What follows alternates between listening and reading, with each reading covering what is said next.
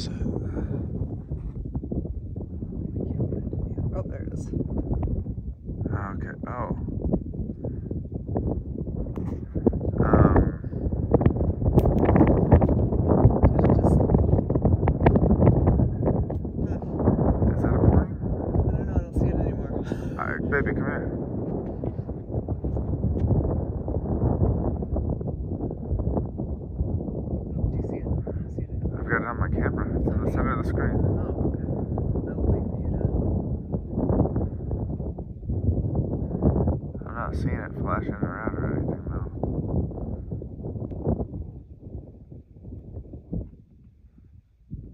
I don't want to stop filming if I can't zoom back in on it, but I can't. It originally looked like a plane.